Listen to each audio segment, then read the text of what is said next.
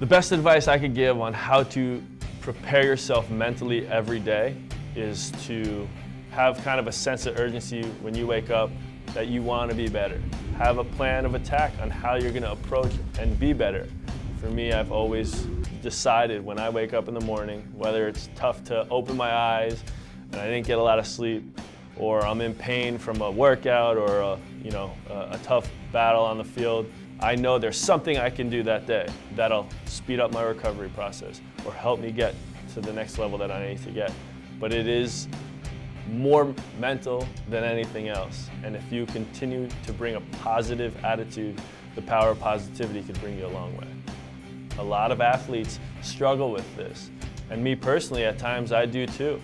Um, but understanding your end goal and the short, short-term goals in between achieving that long-term goal help motivate.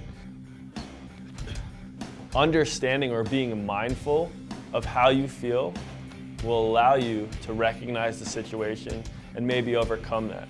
Um, looking a little bit shorter term and trying to accomplish something that day or that next hour is going to help you start to move in the right direction. So it's normal to not be wake up every day and let's go, let's, I'm ready to work. It doesn't work like that. Um, most people don't work like that. And if you do, you're, you're a rare breed and you're lucky. But you have to find that sense of motivation within because you cannot always rely on people around you to push yourself. So it's, again, being mindful and understanding, oh, I'm having a rough day, oh, I don't feel great.